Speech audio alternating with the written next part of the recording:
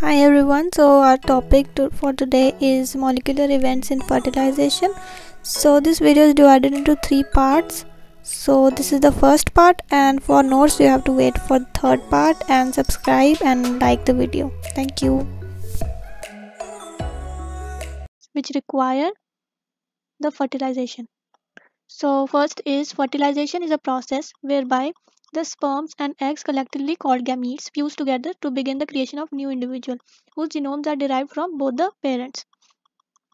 So fertilization accomplishes two separate ends. First is the sex, the combining of genes derived from two parents and reproduction, the generation of an organism. Thus, the first function of fertilization is to transmit genes from parent to offspring and the second is to initiate the egg cytoplasm initiate in the egg cytoplasm those reactions that permit development to proceed. So there are four major events. The first event is the contact and recognition between sperm and the egg, the regulation of sperm entry into the egg, the fusion of genetic material of sperm and egg, and the fourth and the last one is activation of egg metabolism to start development. Now we will study a little bit of detail so that we can write the introduction of fertilization. So penetration of a mature ovum by spermatozoon and the fusion of respective male and female pronuclei.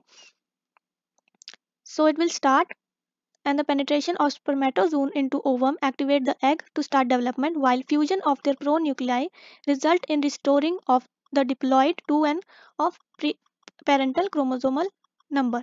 The main idea of fertilization was it by the Leeuwenhoek in 1683 who emphasized that in order to make ovum fruitful, its impregnation with seminal animalcule is essential. So this is a little bit of history. We can skip that, but we, if we get a long answer, we can write this in our answer. So this is the diagrammatic representation of the process of fertilization. First, a reception cone is formed. Now the haploid sperm nucleus and the nucleus of ovum, they will interact this is the third diagram. This is the paternal nucleus and the maternal nucleus. The paternal chromosomes, spindle and the last which will result in cleavage. So details of fertilization varies from species to species. Conception generally consists of four major events. Is the contact and recognition, the regulation of sperm entry into the egg, material of sperm and egg activation of egg metabolism to start development. egg metabolism to start development now the molecular events is the recognition of egg and sperm so the in the recognition of egg and sperm chemo attraction is the main term which we will be using. Chemo attraction of sperm to the egg by soluble molecules secreted by the egg. The exocytosis of sperm to the acrosomal vesicle to release the enzymes. The binding of sperm to extracellular matrix, vitelline envelope or zona pellucida of the egg. The passage of sperm through its extracellular matrix, fusion of egg and sperm cell membranes. Sometimes step 2 and 3 are reversed, can be reversed, and sperm binds to extracellular matrix to the egg before releasing its contents of acrosome. After these five steps are completed, the haploid, haploid sperm and egg nuclei can meet and reactions that initiate development can begin. Now these are the molecular events. The external fertilization in sea urchin. It is an example. Species specific sperm attraction and species specific sperm activation. Sperm attraction is species specific sperm attraction has been documented in numerous species. Cnidarians, mollusks, echinoderms, amphibians and urochordates. In many species, sperms are attracted towards eggs of their species by chemotaxis that is following a gradient of chemicals secreted by the egg. In 1978, Miller demonstrated that eggs of cnidarian and Orthopyxis calicuta, caliculata not only secrete chemotactic factor but also regulate the timing of its release. Miller found that when sperm were added to oocytes that had not yet completed their second meiotic division, there was no attraction of sperm to eggs. So sperms are the main factors. Sperm attraction is required so, however, after second meiotic division was finished and egg was ready to be fertilized, the sperm migrated towards them. Thus, oocyte not only control the type of sperm but also the time at which they attract them.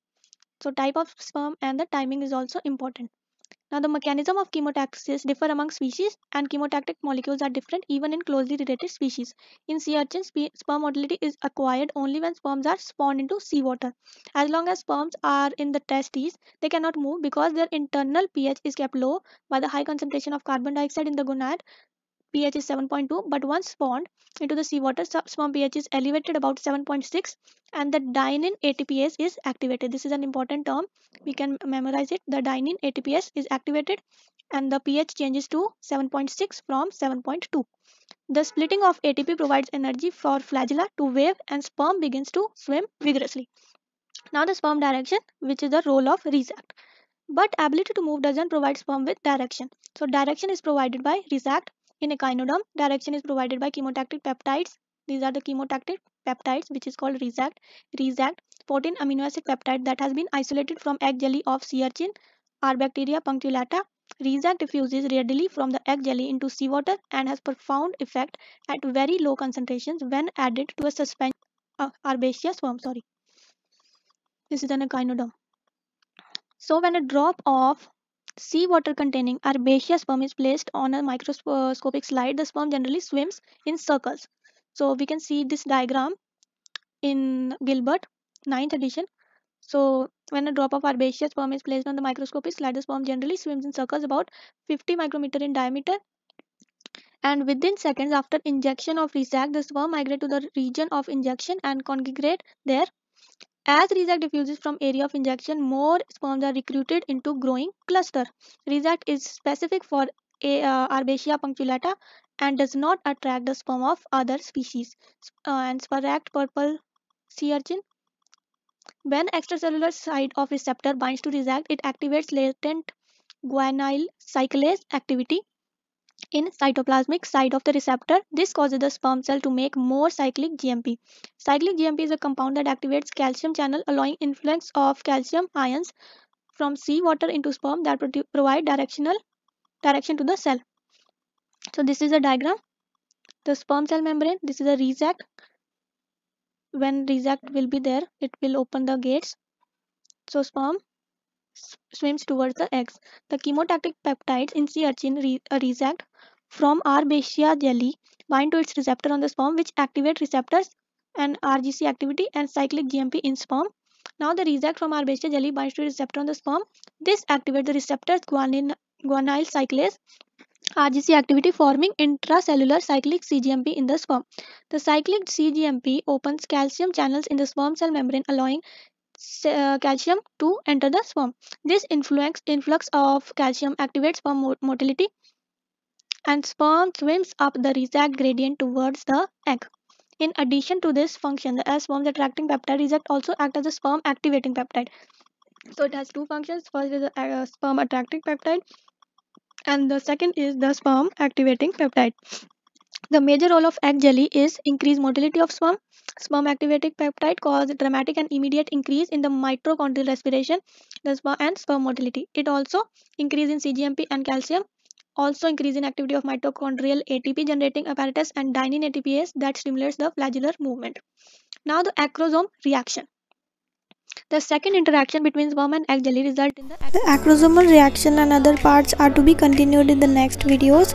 This is the first part. The notes will be available in the third part of the video. So like, subscribe and comment for more updates.